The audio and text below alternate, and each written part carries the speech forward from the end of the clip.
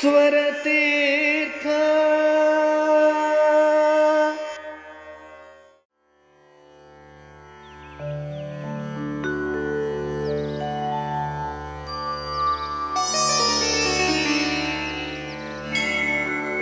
प्रातः स्मरामि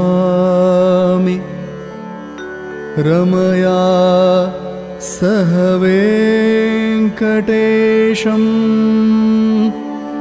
व्यासराजयति प्रोक्तम् श्लोकत्रयमिदं शुभम्।